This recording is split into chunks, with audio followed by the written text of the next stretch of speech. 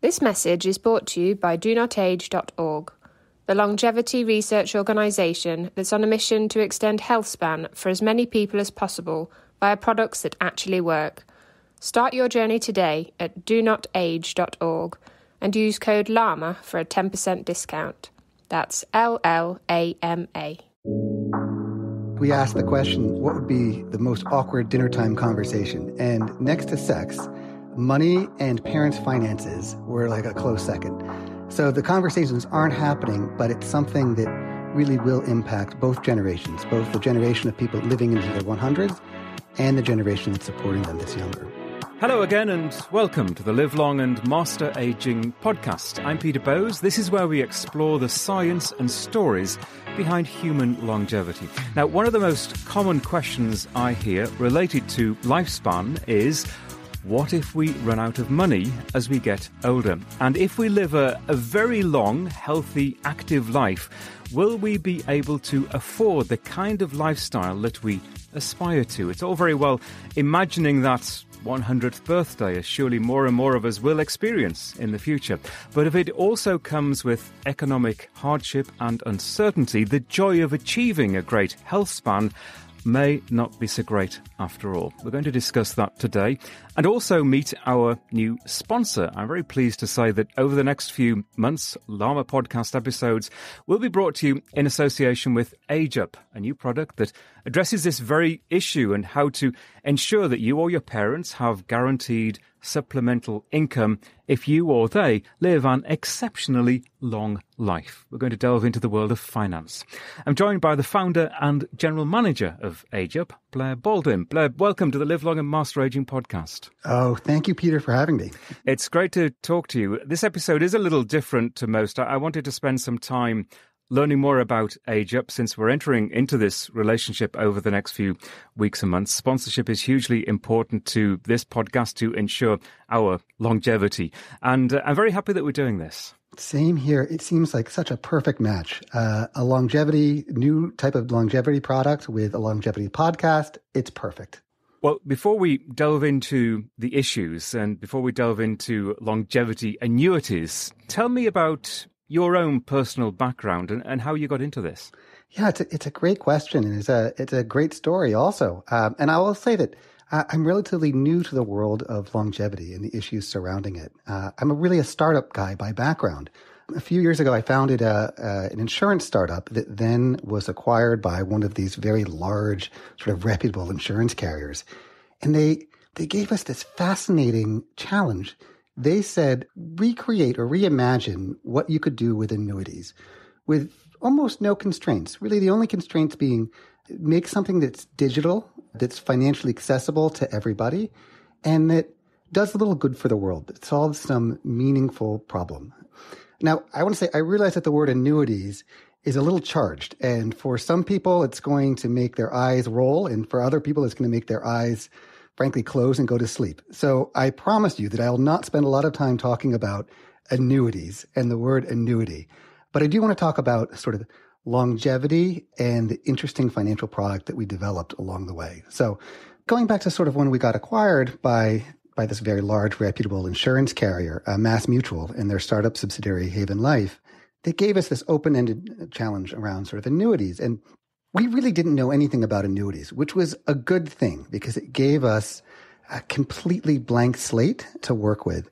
And so, you know, we tried to understand these very complex products and really boil them down to their, to their essence. And one of the things that they are marketed as is uh, longevity protection. And we kind of picked up that thread and started playing with it and seeing where it went. And one of the first places that it went is it actually while they do sort of provide longevity protection in a way, the definition of longevity is something that probably wouldn't resonate with your audience. Most annuities are sold to people in their, you know, 50s, 60s, early 70s. And the latest you can annuitize the product is, is usually about 85 years old, which in today's day and age is actually not a very long lifespan or, or health span. So that was sort of one thread.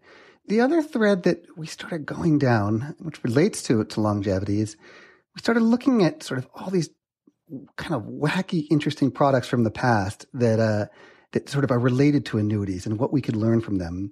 And, and one of the products that we looked at that was just really inspiring is something called a, a tontine. I, I, don't know. Have you ever heard of, of, of, this product? I have not. Tell me. Oh, this is fantastic. And Peter, if you ever want to go down a Wikipedia clickhole, Google tontine. A tontine is this fascinating financial instrument that was invented in Italy in the 17th century. And think of it as kind of like a like a longevity lottery. So you have a bunch of people who put in some money, usually to one of the kind of the monarchies of, of Europe at the time. Uh, this was what was used to fund sort of wars, essentially, and conquests. And what would happen is every year that monarchy would sort of pay out a dividend to the people that were still alive in the original tontine. And so if you think about it, as uh, time goes on and more and more people sort of die and sort of uh, pass, the payout gets larger and larger. And so what you end up having is a financial product that really rewards the folks that live a very, very long life disproportionately. And it's in a lot of ways like true uh, longevity insurance. And that was just really inspiring to us. And we asked the question, like, well, you know, why, why can't we do something like that? In a lot of ways, uh, Peter, it's it's almost the inverse of term life insurance. And so if you think about term life insurance, you pay a little bit of money into a pot, and it's protection in case you uh, pass earlier than expected, so that your family is you know is is not left holding the bag. And this uh, operates in the opposite way. And so that was kind of the inspiration. Like let's let's sort of take inspiration from this this concept of a tontine and this concept of almost the inverse of life insurance and, and try to build a product. Now, there's a problem, of course, which is that the tontine is really illegal. Um, what ended up happening is that this financial product, two thirds of all insurance in the United States, actually at the turn of the 20th century, was a tontine. Everybody was buying these things and selling these things, and it was just rife with um, kind of scandal and misappropriation of funds. And so the government banned them. So you can't actually do that.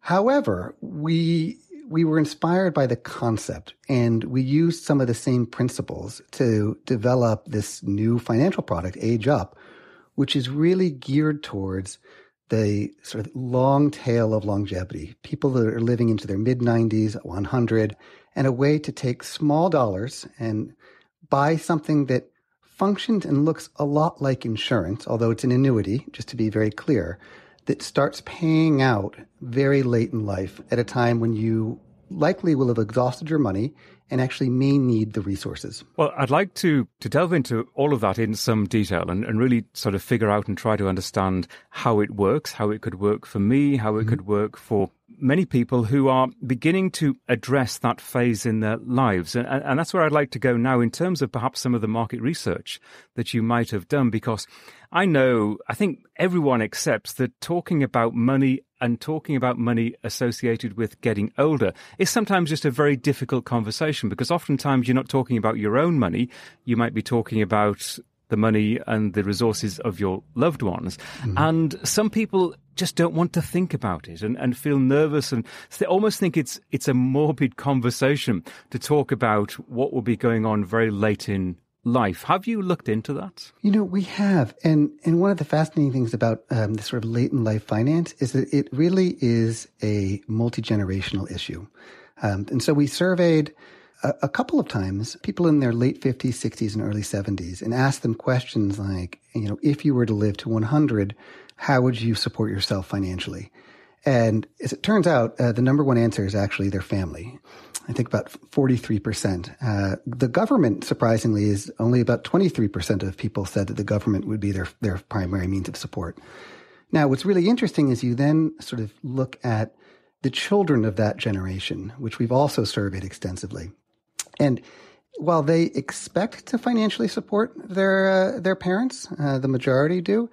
It's interesting because these conversations aren't happening. So most most adult children in their 30s and 40s never speak to their parents about money. In fact, we asked the question in terms of awkwardness, what would be sort of the, the most awkward dinner time conversation? And next to sex, money and parents' finances were like a close second. So the conversations aren't happening, but it's something that really will impact both generations, both the generation of people in living into their 100s and the generation that's supporting them that's younger. So it's, it's a great point. So let's uh, talk the process through then. Uh, at what age should we, do you think, be thinking about this? If we acknowledge to ourselves that this is right for us, this kind of, of plan that could reap rewards uh, very late in life, when do we start and how do we start? Yeah, well, so let's first start with the who. So this type of product is really designed for somebody who's in their 50s to early 70s, who's living a healthy lifestyle and sort of aspires to that longevity that, you know, so, so core to this, this podcast. And that's really the, the, the, the target audience. In terms of the process, it's very easy. It's, uh, it's just a website. You go to the website, uh, ageup, age-up.com the product is underwritten by MassMutual, uh, which is one of the largest and most respected insurance carriers. And the sign up process takes all of about five minutes. You enter in your bank account information, and then every month, a little bit of money, your choice how much, between $25 and $250, gets contributed into this longevity annuity. And then that's it. You, uh, you focus on uh, living your healthy lifestyle and doing everything you can to live as long as possible. And so let's assume someone's starting in their 50s. How long do they pay into it? In other words, when do they stop paying before they can get the income at a later age? They can start or stop whenever they like, uh, which is one of the beauties of the product. Um, so you can start in your 50s, putting $25 a month in. And then you can decide maybe there's a change in your lifestyle or, or your health where you no longer want to contribute it. And you can stop at any time. Any amount of money that you've put in at the time that you put in converts into a little slice of future income. So, Peter, think of it this way. Whenever you put in your, say, $50 into this longevity annuity, when you make that contribution, that converts into a little slice of income that may not start until you're 95 or 100, but then it will go on for as long as you're living. And so every monthly payment you made in the past is one little slice of future income in the future. And you can stop making those monthly payments at any time. What a lot of people might be concerned about when they hear us talking about getting to 90, 100 years old, 110 years old, and clearly for regular listeners to this podcast, when we talk about health issues and science, it's an aspiration to have as long a health span as possible. That is the, the longest uh, time when we're active and involved and, and social and being able to do things physically. But clearly, reality dawns and things sometimes impact us that we have absolutely no control over at all and we might not last that long. We might get to 75, 80, 85. And the question clearly arises if you're getting into some sort of plan that will provide an income for you in your 90s, mm-hmm. but you don't actually reach that age, are you wasting your time? Peter, that's a great question, and one that actually sheds light on how the product works and gives us a way to talk about a few theoretical examples. So, in our quest to make a really simple online product, we reduced the number of decisions a customer faces down to just two basic choices. The first choice if you die before your 90s, do you want the money you paid in to go to your beneficiaries? Now, if you weren't presented with an alternative, most people would just say yes without blinking. But in this case, it's important to remember that if you opt out of returning the money that you put in uh, to an AgeUp plan to your beneficiaries, you know, in the event that you pass before your 90s, the payout is actually much larger. And you know, some people are going to be more interested in a lower risk, lower reward uh, protection uh, product, but others might be interested in the exact opposite. You know, as for the second choice, this relates to what age you select your AgeUp annuity to convert into guaranteed monthly income. Uh, age 91 is the earliest and age 100 is the latest. Now, the longer you delay, the higher the payout. Uh, and this is because essentially those who pass early fund the payout pot for those who go on, who go on to live very long lives. So let's sort of combine these two decision points into the case of a 65 year old man putting $50 a month into AgeUp. Uh, and in the first case, let's just imagine that he chooses his 91st birthday as the date for when the product converts into guaranteed monthly income. In in this scenario, you know, if he opted to return whatever money he put in to his beneficiaries, in case he passes before his 91st birthday, uh, he would receive about $450 per month. This amount uh, almost doubles to about $850 per month if he waives that, that option. And so now let's look at the other extreme. What if that same 65 year old man putting $50 a month into AgeUp picks age 100, his 100th birthday, as the trigger point for when the product annuitizes?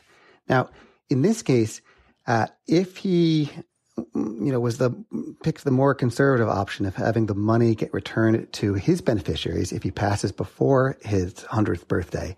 Uh, his monthly payout would be five thousand dollars of guaranteed income per month. Now, if he waived that right, though, that monthly payout shoots up to fourteen thousand dollars of guaranteed monthly income.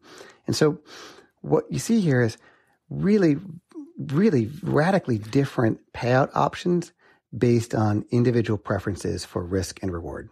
So a lot of this actually goes to the mindset of people, doesn't it? And and people in midlife, in their fifties and sixties, in terms of how they see themselves and their chances of getting to a very old age. And and everyone views that in a rather different way. And maybe listen to this podcast are rather more gung ho and and positive in that respect because they are let's say, trying to live the, the life, the longevity lifestyle to get to that great age. But it does depend on your own certainty to some extent about how old you're going to get. You know, it's true, Peter. And we actually did quite a bit of survey work on this topic to really understand uh, uh, sort of the average expectations around longevity. And what's really interesting, we asked a, a, question in a number of ways to a number of different populations of people. Essentially, you know, what do you think your chances are that you will live to age 100? And what was really interesting was that, you know, 12% of essentially baby boomers said that they have a real chance of living to age 100. Now we paired that question with, you know, do you think you'll have the financial resources to actually make it to age 100? And there's a huge gap there because in the one hand you see a significant number of people saying that there's a realistic chance that they could live to 100 and then you see more people saying that they will not have the resources to live to 100 and we also pair this with questions like the available expectations around social security in 30 years. It's actually a sort of a split audience there. About half of people think that social security will be around half don't. And then the ability of the younger generation to support people that are living to, to age 100. And in that case, also, uh, although we, we found that many people who expect to live to age 100 expect their family to support them. There are some signs in the survey data when we asked the younger generation whether they think they could support their parents that that, that may not be the case. Um, and that spells, uh, you know, the, the potential for real financial distress for folks. And we should say, when you mention Social Security, that this is available only in the United States. Correct. This is only in the United States. Now, as you've uh, already mentioned, AgeUp is backed by MassMutual. How significant is that? I, imagine very significant to people to know that there is a, an element of security and, and longevity in the company that is backing this product. Absolutely, because if you think about it, this is a promise that the insurance carrier is making that may, uh, the promise may not be called for 50 years. And so you want to make sure that the carrier that you are working with is going to be here in 50 years. Now, in the case of MassMutual, it's 170 years old. So it survived the, the Civil War, World War One, World War Two, everything in between and quite literally has the same credit rating as the US government in terms of its financial stability. So this is a, a carrier that, that is trusted and that has really stood the test of time. But it's a, it's a great point because it would be awful if you purchased a longevity product and then the carrier that you purchased it from wasn't around when you went to collect. And so hence having very good backing matters a lot. And I think that question may be more uppermost in, in people's minds today than, than ever before because of the uncertain times that we're living through uh, with coronavirus yes. and the, the lockdowns and people being made unemployed and, and, companies going out of business, they, people are going to look twice and three times at, at any entity that they get involved with that uh, makes a promise about the future. You know, actually, Peter, can I pick up on a thread that you mentioned with uh, with coronavirus? Um, When we went to launch this product uh, a few months ago, it was right in the height of coronavirus, and and we were frankly a little nervous about the brand implications of of, of marketing longevity insurance, which this effectively is, in a time when people are so focused on on mortality. Yeah. And so again, we sort of went back to the survey drawing board, if you will, and, and did quite a bit of customer research. And what we found was was pretty fascinating. Is that in the, the present day, people really are severely impacted by, by COVID, and, and they're very clear about that. What's interesting though is when you ask them to imagine the world in 30 years, and specifically I'm talking about people in their 60s, late 50s, early 70s, so people who are going to be in their, their 90s and, and 100s, their expectations of the world in 100 years and their own longevity, or in, in 30 years, it's remarkably stable. We ran two surveys, one right before uh, sort of COVID started spiking, and one mid COVID. And there was almost no difference in the long-term perceptions of, of longevity, although the short-term reality of impact on day-to-day life was, was very, very different. It's fascinating you say that because I had the same thought process back in March and April relating to this podcast. We talk about longevity, living to a, a great age. At the time, people were concerned about living till next month and the, the loved ones as well. And it was more of a survival mode, I think, that most of us went into. But then as time passed, there was a realization that what we do every day as far as our exercise and, and, diet is concerned is key to surviving something like coronavirus and that the most healthy amongst us, less obese, physically active, and more able it seems, to fight this virus. And, and therefore, exactly as you've said, that longevity ideas and, and perceptions uh, maybe remolded and, and, reframed in our minds, but uh, they stay the same in terms of, of long term goals. And we kind of get over that hump of worrying about just getting through till tomorrow or, or next week. And there's a realization that what we do now impacts the very, very long term. Absolutely. And stepping back from just the AgeUp example, uh, there's been a lot of research that in times like these, things like saving rates and preparedness for the future actually go up versus down. And on the surface, you would expect sort of a, almost a more of a fatalistic approach. That that point that you just made about sort of uh, making it, you know, tomorrow. But that's actually not the reality. People's behaviors are very, very different, um, and they tend to actually save more and focus more on the future in these difficult times. Yeah, and again, there's a correlation there. People are saving more, thinking about the future. From a health perspective, people are being cleaner, they're washing their hands, they're doing those obvious things that we should perhaps have done more of to avoid the common cold. We're now doing it to avoid coronavirus. And that we are more acutely aware of those things that we can do to protect ourselves into the future. It's fascinating to me that this correlation that I, honestly I hadn't thought about before in terms of our financial futures can be compared with our physical and, and health uh, futures. Exactly. Yes. The other thing that interests me about what you're doing, and you and you referred to it, there's nothing quite like this. You are, there's that word, disrupting, disrupting the system, aren't you? I, I'm wondering from a personal perspective, what is your drive? What's your motivation, knowing what you do about finance, to disrupt the system? So I think there's there's two answers to that, Peter. The the first is by nature, I'm just intellectually curious, and when I stumbled on this longevity issue, it was just fascinating, and I really wanted First, just to, to build a product that, that solved for real longevity risk. And that's more just a personal disposition. But on the personal side, other than personal disposition, I grew up very close to my grandparents on uh, on my father's side, and both of them were lucky enough to live into their late nineties. And I was sort of along the, the journey the whole way. And you know, the the last few years get very very expensive. And so when we started working on this concept it had real emotional resonance to me because I could think back just a few years when I was going through and living this with, with my aging grandparents and sort of playing the hypothetical, like, what if? Well, what if we did have, you know, an extra, you know, $5,000 a month to help support them uh, in, in, their older years? And so the, the work just became all the more personal uh, and meaningful.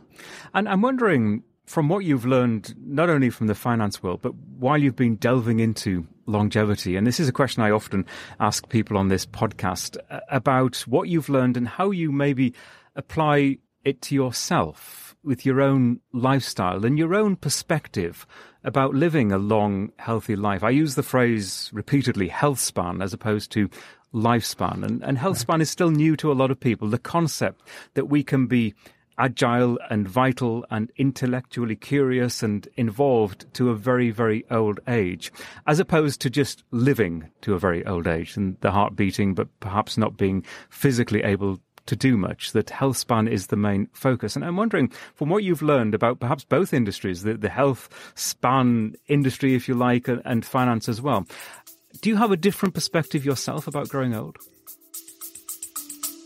And we'll continue this conversation in just a moment. Hey, quick question for you. Are you someone who wants to be fit, healthy, and happy? And what if I told you you could get your dream body by simply just listening to a podcast? I'm Josh. And I'm KG, and we're the hosts of the Fit, Healthy, and Happy podcast. Listen, we get it. Fitness isn't easy, carbs, no carbs. Just stop, okay? It doesn't have to be that complicated. And that's why we made this podcast. We get straight to the facts so you can become your best you. So the way to check us out is click the link in the show notes or search Fit, Healthy, and Happy podcast on any of the major podcast platforms. We'll see you soon. To be honest, my perspective is is pretty much unchanged in that I knew that healthy lifestyle and healthy living were were important before intellectually. But now that I'm working in this space, I feel it on an emotional level as something that I should pay more attention to in terms of my own physical health and well-being. Things like uh, stress levels and diet. Uh, and it really has brought home um, sort of lifestyle issues. So, yes, I feel it now in addition to intellectually understanding it before. Has uh, COVID changed your day to day lifestyle? Clearly, it's changed all of us in, in terms of the way that we communicate with each other. But are there other aspects of COVID that have made you rethink how you live your life every day? Well, uh, on the positive side, you know, COVID has, uh, we have a, a four year old and a six month old. And the six month old was born March 12th. So the absolute peak of uh, COVID, at least it, uh, we're in Boston, and that's where when Boston was going through, uh, you know, quite a, quite a scare. And the result of this is we've had actually a lot of glorious family time. And so the, the benefit of COVID is, is really bringing to the forefront the importance of, of family time because we're now all in it together and we we physically don't see other people and we just spend a lot more time together and it's, and it's been wonderful. So that sort of return to uh, almost a simpler time is, actually a very good thing. Uh, and i think will cause a lot of people myself included to really question future sort of work patterns. It's interesting you mentioned children. Almost everyone I interview for the podcast, uh, when we talk about the, the motivation to, to live long and healthy, almost everyone mentions their children as a reason to want to stay as healthy as possible as, as old as they get. So they, they can be around for their children to share in their children's lives, perhaps share some of their wisdom with their children. And this, this in some senses, goes right to the heart of, of what we're talking about in, in your product, because children are crucially involved in the decisions of, of their parents as they get to a very, very old age. And you, you can see, as you've just nicely described, you can see that family bond, if you like, taking yourself through your life right to the very end. That's a great point, Peter. You, you, know, when we designed this product, we actually designed it for two different use cases, if you will, in mind. One use case is for people who are in their 50s, 60s, and early 70s to essentially insure themselves for their own longevity risk. But the second use case, uh, and the one that we actually launched first in the market, was something very different, and it was aimed uh, for millennials and sort of younger Gen X people who have baby boomer parents and who realize that their parents have real longevity risk. And their parents may not have the finances to match basically their financial needs with their longevity. And so we, we created that use case so people in their 30s and 40s could buy this very low cost financial product to support their parents should their parents live that sort of happy path of life into their 90s and beyond. And really focused on that intergenerational aspect of, uh, in your point, sort of everybody sort of going together with it. It's been interesting because we got to essentially play with both sides of the same coin uh, with the same product design. And you mentioned that you started the major part of the launch of this was at the height of COVID, and, and that's when you were thinking about it and beginning to promote it and perhaps reframing your ideas in terms of how you could promote it. I'm wondering now, as we're getting towards the end of the year, how's it going? So it's interesting. When we launched the COVID, we we almost didn't want to use the word longevity or long life again because it felt so charged back in the spring with, with the height of COVID. And so as a result, a lot of our advertisements were frankly more in the language of annuities, talking about guaranteed income and things like that. We found that that really didn't work. And what we are now going to is where we started, which is actually focusing on healthy lifestyles and people who aspire to live into their hundreds and beyond. And so over the last six or seven months, our own messaging and marketing has really, really evolved to where it should have been in the start, which was focusing on, on the longevity piece. We just wanted to be very sensitive when we first launched because it was such a difficult time. And I'm wondering, a thought just occurred to me, I'm wondering if someone who enters into this kind of plan as they're getting older and uh, um, we can only imagine and guess what it's like to be in our 80s, approaching our 90s in terms of our mindset. But knowing that we have this potential income to come, I wonder how, maybe neither of us can answer this question, but I wonder how it will affect our mindset as we're in those years just before getting the money, if you like, or yeah. getting the, that income. And I ask that because one of the common traits uh, that I've seen in terms of very, very old people just keeping going and keeping going from the next month to the next year to the next year, it's sometimes because they've got something to look forward to. And families are a big part of arranging things for older people. It could be a, a party, it could be an event, it could be a, a book club, it could be a conversation over coffee with your best friend, but it's always something happening tomorrow. Pets come into this as well. People mm-hmm. feel as if they've got something to live for because they've got their pet. And there's a psychological element of just keeping going because you're always looking forward. And, and, I'm just wondering if this could play into that. I think it absolutely, absolutely could. I, I think the other dimension here is that worries about money and finances are intricately linked with stress and anxiety. And so if you have fewer worries about money and finances, especially when you imagine the future state, that can only help lower your levels of, of anxiety and can only sort of correlate to more healthy, healthy lifestyle, essentially, uh, and a better chance of, of, of living a very long life. And I'll also add that, you know, we, we, we did a lot of uh, interesting survey work, again, around beliefs around what it would like to be, what it would be like to live to 100. And the top concerns were after sort of losing the physical and mental, mental sort of mobility and capacity, were actually around finances, not having enough money, and not becoming a burden. And so this product also helps people not become a burden. And it actually relieves the anxiety of that as a potential sort of future state, which again can only help people on that longevity march. And I think that's a, nice way to end this because you very effectively, I think, sum up the motivation to do that. Blair, this has been a really fascinating conversation. Thank you very much indeed. Oh, thank you, Peter, so much. And I know that financial matters can be complicated and, and, difficult to digest, and I struggle as much as anyone. If you would like more information about AgeUp, to dive a little deeper into the subject, go to age-up.com. You'll find a lot of detail there, and you'll find the website details in the show notes for this episode at our website. That's llamapodcast.com, double L A M A podcast.com. A reminder that you can now listen to us on multiple podcasting platforms, including Apple Podcasts, Stitcher, Google Podcasts, Spotify, and now we're also available at Amazon Music Podcasts. Just go to their site, music.amazon.com slash podcasts, or download the app and you'll find us in their directory. Just search for Live Long and Master Aging. The Llama Podcast is a HealthSpan media production. If you enjoy what we do, you can rate and review us at Apple Podcast. You can follow us in social media at Llama Podcast and direct message me at Peter Bowes. It's always great to hear from you. Many thanks for listening.